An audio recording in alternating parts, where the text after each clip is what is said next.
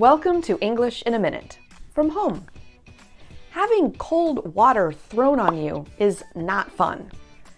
But what does this expression mean in a conversation? Throw cold water on something. What do you have there, Anna? Fireworks. I thought I would invite some friends over to stand in the street and watch them go off.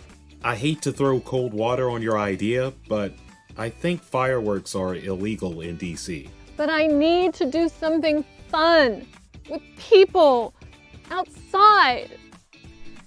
When you pour cold water on a fire, it goes out. The same can be said for an idea or plan. To throw cold water on someone's plan means to bring up reasons why it may not happen. And that's English in a minute.